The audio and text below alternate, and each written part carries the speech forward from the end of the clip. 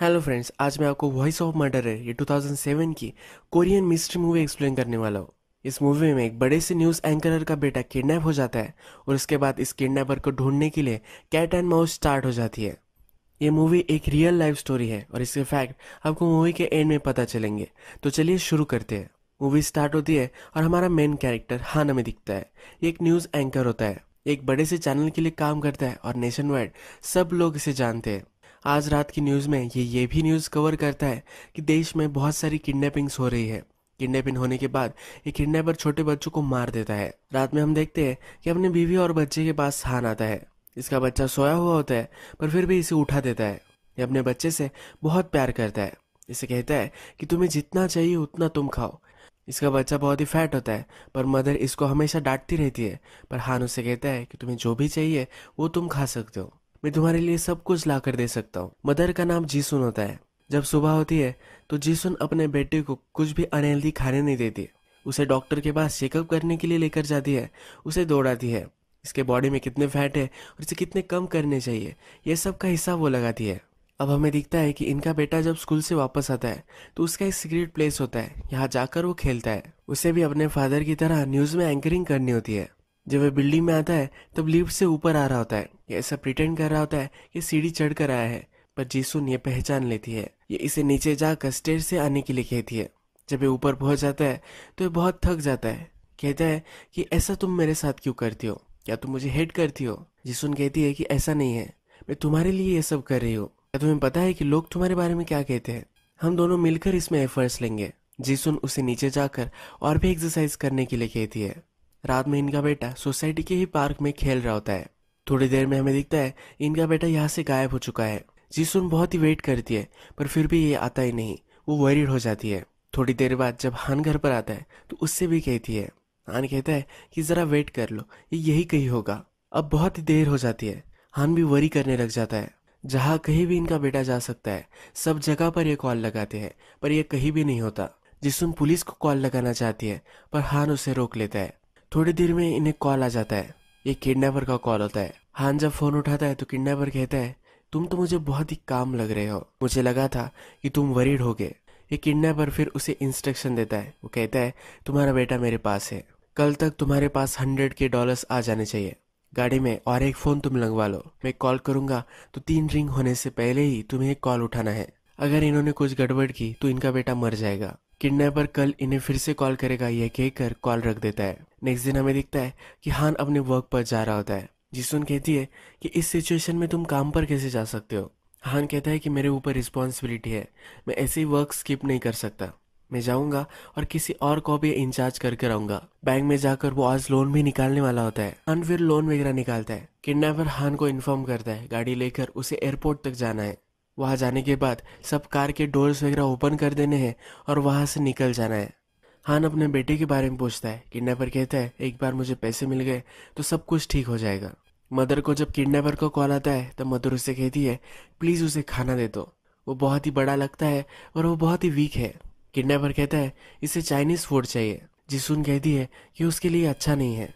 ये अपने बेटे से बात करना चाहती है, पर किडनैपर कहता है कि वो अब सोया हुआ है। हान को किडनैपर ने बोला था कि अब उसे बैग छोड़कर वहाँ से निकल जाना है। घर पर उसे जाना था, पर हान वहाँ से नहीं जाता। थोड़ी देर में हान की गाड़ी में फ़ोन बजने लग जाता है। वो भागते भागते उसके पास जाता है, किडनैपर कहता है, तुम्हें कहा था, तुम्हें घर जाना है। हान बोलता है कि ऐसे कैसे गाड़ी में ओपन छोड़कर जा सकता हो? अगर किसी भी रैंडम पर्सन ने पैसे ले लिए तो प्रॉब्लम हो जाएगा। किडनैपर कहता है कि तुम्हें वरी करने की ज़रूरत नहीं थी। जीसुन से जब किडनैपर की बात हो रही थी तो जीसुन ने फ़ोन जरा लेट उठाया था। किडनैपर उसे फिर से वार्निंग देता है। तीन रिंग होने से पहले ही कॉल उठ जाना चाहिए। किडनैपर अब हान से कहता है कि अलग प्लेस पर अब तुम्हें जाना है। वो उसे एक लोकेशन देता है और उसके पास एक टी हाउस है। वहाँ जाकर वो बैठे, इसे उसके इंस्ट्रक्शंस होते हैं। अब जीसुन को किडनैपर कॉल करता है। वो कहता है कि जो टी हाउस था, वो बंद हो चुका है। उसे चिकन प्लेस पर जाने के लिए कहो। हान जब चिकन प्लेस पर पहुँचता है तो सब कुछ लोगों को देख रहा होता है। उसे लगता है कि यहाँ उसे किडनैपर मिल सकता है। सस्पिशियस आदमी उसे दिखता है तो उसकी कॉलर वो पकड़ लेता है। उससे सवाल पूछता है कि वो कौन है? क्या कर रहा है? ये आदमी कहता है कि मैं पुलिस हूँ, तुम्हारी वाइफ ने ये सब सिचुएशन पुलिस को इन्फॉर्म की थी। किडनैपर जिसुन को कॉल करता है और कहता है कि अब तुम्हारे बच्चे को मैं कुछ भी खाने के लिए नहीं दूँगा। जिसुन रोने लग जाती कहती है कि प्लीज़ उसे कुछ दे दो, पर एक किडनैपर मानने वाला नहीं होता। हाँ जिसुन पर चिड़ गया होता है। वो जिसुन को कॉल लगाकर कहता है कि उसे पुलिस को इन्फॉर्म नहीं करना चाहिए था। हान जब उस चाइनीज़ प्लेस पर पहुँचता है तो अब वहाँ किडनैपर वगैरह कोई भी नहीं होता। अब नेक्स्ट सीन में हमें दिखता है कि पुलिस इन्वेस्टिगेशन स्टार्ट हो चुकी है। जो सब एरिया में सस्पेक्ट है, इन सबको पुलिस ने उठवा लिया है। इनके वॉइस सैंपल अब वो लेने वाले हैं। पुलिस की मीटिंग चल रही होती है। इसमें कहा जाता है कि दो मिनट के नीचे ही ये सब कॉल करता है। यानी कि ये कॉल कोई भी ट्रेस ना कर पाए। ये बहुत इंटेलिजेंट और कनिंग है। ये हान का बेटा है तो इन पर प्रेशर भी अब पड़ने वाला है। हान के घर पर हमें बहुत सारे पुलिस वगैरह दिखते हैं। हान को समझा रहे होते हैं कि सब कुछ ठीक हो जाएगा।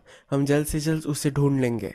अब फ़ोन वगैरह वो सब कुछ टैप करने वाले होते हैं। पुलिस हान से पूछ रहे होते हैं कि क्या उसे किसी पर शक है? हान कहता है कि मैंने सालों में बहुत सारे एनमीज बनाए हैं। मैं अगर नाम लूँगा तो ये इम्पॉसिबल बन जाएगा। हान कहता है कि एक ऑनेस्ट सिटीजन की तरह मैंने लाइफ जी है। मैं न्यूज़ एंकर हूँ तो इसमें मैंने बहुत सारे लोगों को हर्ट कर ही दिया है। हान पार्किंग में होता है और किडनैपर उसके फ़ोन पर कॉल करेगा। इसका वेट कर रहा होता है। जब कॉल आता है तो किडनैपर कहता है, मैं तुम्हें बताया था कि पुलिस को तुम्हें कॉल नहीं करना है। हान चीट कर पूछता है कि तुम हो कौन? किडनैपर कहता है कि फिर से इस तरह की मिस्टेक मत करना। वो इसे फिर से कॉल करेगा, ये कहकर कॉल रख देता है। ये कहता है कि वो इन सब पर नज़र रख रहा है। उनकी गाड़ी के पास ही एक पुलिस ऑफिसर हमेशा होता है। हान जब सोया हुआ होता है और पुलिस ऑफिसर का भी कुछ ध्यान नहीं होता तो एक चाइनीज़ पार्सल वाला इसकी गाड़ी पर कुछ लगा कर जाता है। इस पर किडनैपर की नोट होती है। इस पर लिखा होता है, तुम तो बहुत ही ऑप्टिमिस्टिक हो। ये सारी सिचुएशन चल रही है और तुम सो रहे हो।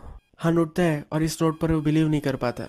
वो भागने लग जाता है और किसी को ढूंढता है, पर कोई भी इसे नहीं मिलता। पुलिस इन्वेस्टिगेशन करते हैं और इन्हें उस चाइनीज़ पार्सल वाले के बारे में पता चल जाता है कि इस चाइनीज़ वाले को पकड़ लेते हैं, पर इसे पता नहीं होता। सिर्फ़ ये नोट गाड़ी पर लगा कर आनी है, इसके लिए पैसे दिए गए थे। हान से जब पूछा गया था कि क्या उसने किसी को हर्ट किया है तो अब उसे याद आता है कि एक ही आदमी था जिसको उसने सबसे ज़्यादा बर्बाद किया था।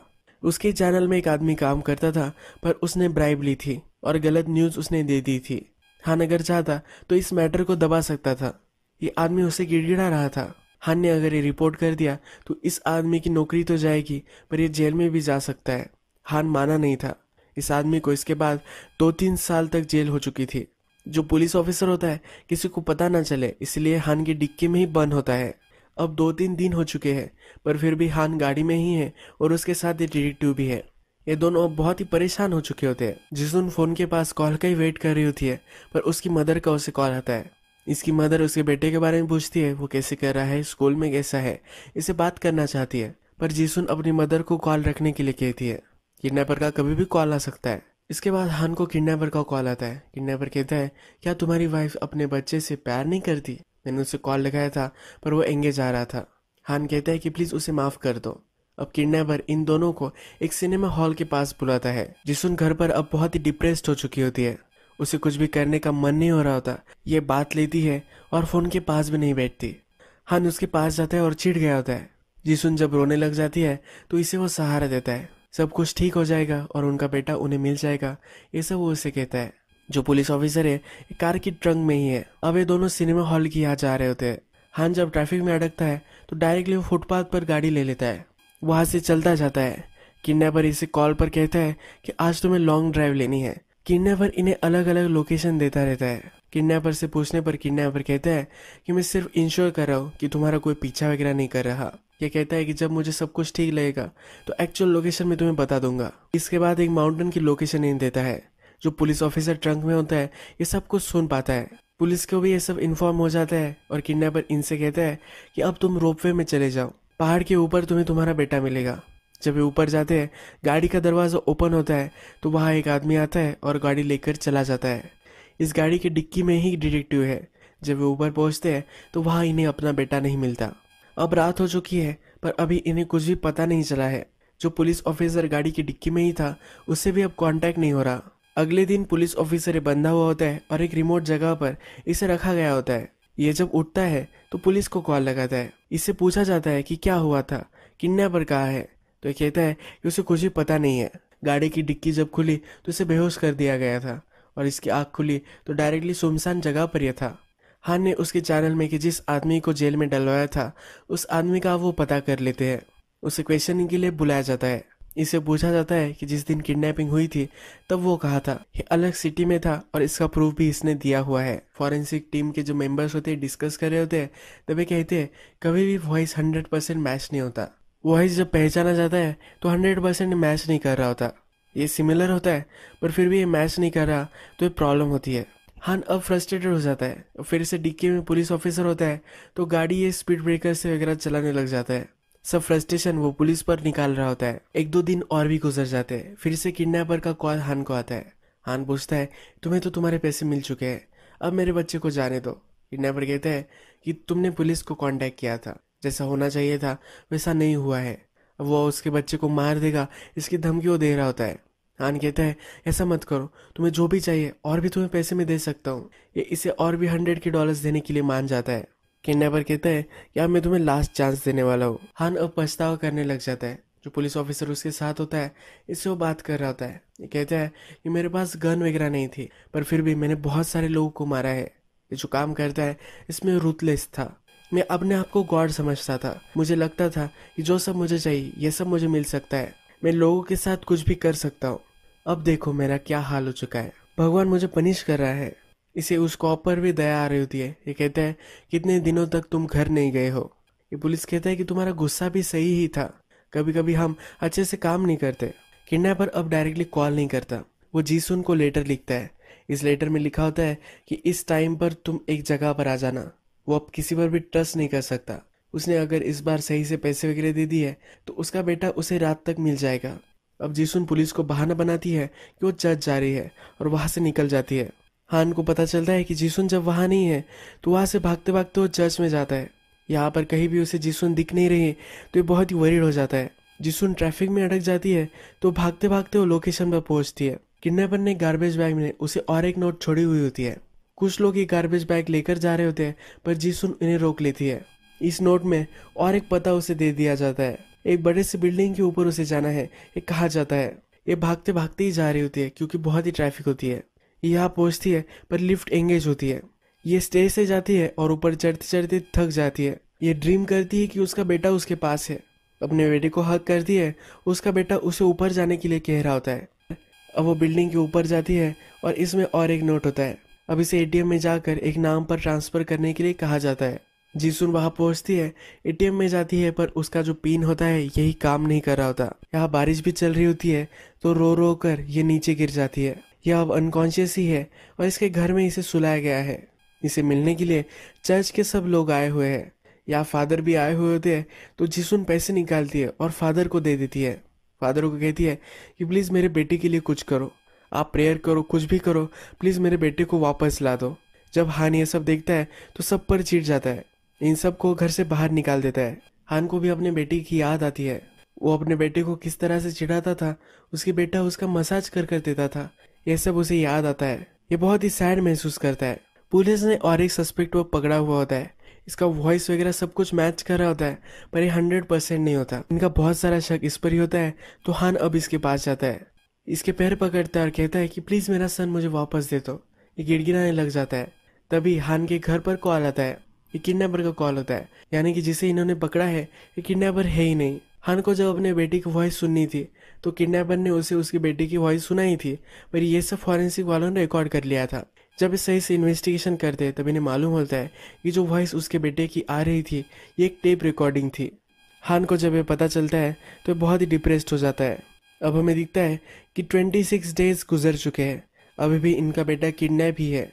जब हान लंच कर रहा होता है तो किडनैपर उसे कॉल लगाता है।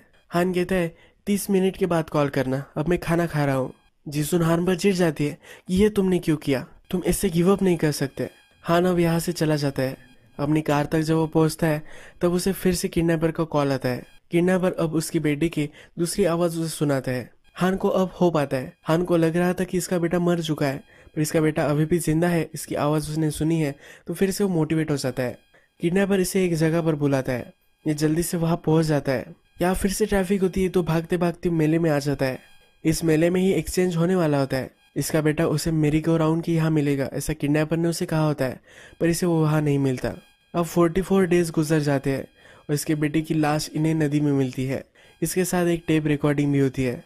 किडनैपर ने इसके बेटे की वॉइस रिकॉर्ड कर लिया था और यही वो सुनाता रहता था जिसुन अब रो रो कर बुरा हाल कर देती है। वो कुछ भी कर नहीं पाती। ये सदमे में होती है तो उसे लगता है कि इसका बेटा अभी भी ज़िंदा है और वो जल्दी घर वापस आ जाएगा। हान इसे कंफर्ट करने के लिए इसके पास जाता है। इसे वो गले लगाता है। इसे वो इंटीमेट होना चाहता है, पर ये इसे झड़क देती है। ये कहती है कि मुझे मेरा ही बेटा चाहिए। मैं अब फिर से कोई भी बच्चा नहीं होने दे सकती। ये रो रो कर कहती है कि मेरा बेटा मुझे फिर से वापस ला दो। किडनैपर ने इनके बेटे को जहाँ रखा था, ये स्पॉट होने मिल जाता है। यहाँ पर हान जो पुलिस उसके साथ था इससे बात कर रहा होता है। ये कहता है कि जब भी मेरे बेटे के साथ होता था, मैं पूरी तरीके से उसे टाइम नहीं दे पाता था। मुझे लगता था कि मैं मेरी सब रिस्पॉन्सिबिलिटीज कंप्लीट कर रहा हूँ, यही इनफ है। पर मुझे उसके साथ और भी टाइम स्पेंड करना चाहिए था। हान को अपने बेटी की बहुत याद आती है और यही ये रोने लग जाता है। ये पुलिस कहता है कि हम हंड्रेड परसेंट उसे ढूंढ लेंगे। कभी भी बच कर जा नहीं सकता। अब बहुत दिन हो चुके थे तो हान अपने जॉब पर जाता है। आज उसे जो न्यूज़ देनी होती है, ये किडनैपर के बारे में होती है। किडनैपर की वॉइस सब लोगों को सुनाना चाहता है। अगर किसी ने वॉइस पहचान ली तो किडनैपर पकड़ा जा सकता है। ये न्यूज़ हानि देने वाला होता है। जब ये न्यूज़ दे रहा होता है, तब इसे सब कुछ डिटेल में समझाना पड़ता है और ये रोने लग जाता है। ये सबसे रिक्वेस्ट करता है कि अगर आप इस आवाज़ को जानते हो तो प्लीज़ पुलिस से कांटेक्ट करो। ये टीवी पर ही रोता है, पर फिर भी न्यूज़ चैनल वाले ये कैमरा इससे नहीं निकालते। हान के रोने से इनके शो को ही बेनिफिट होगा। इसलिए कैमरा इस पर ही रखते हैं। यही मूवी खत्म हो जाती है और हमें फैक्ट्स दिए जाते हैं। ये जो किडनैपर की वॉइस थी, ये 1991 में रिकॉर्ड की गई थी। किडनैपर का डिस्क्रिप्शन वगैरह पुलिस ने बना लिया था। इसने बहुत सारे बच्चों के साथ यही किया था। इसकी इन्वेस्टिगेशन चलती रही और 420 सस्पेक्ट को पुलिस ने इन्वेस्टिगेट किया था। 87 रिकॉर्डिंग्स एनालाइज की गई थी। कभी भी उन्हें किडनैपर नहीं मिला। ये मूवी 2007 की थी। तभी भी इन्हें किडनैपर नहीं मिला था और अभी भी किडनैपर पकड़ा नहीं गया है। आज तक ये किडनैपर खुला ही घूम रहा है। ये अभी भी ये सब कर रहा हो सकता है। हम सब लोग अब सिर्फ़ प्रे ही कर सकते हैं कि किडनैपर पकड़ा जाए। यही हार्ट ब्रेकिंग वीडियो आज हम खत्म करते हैं।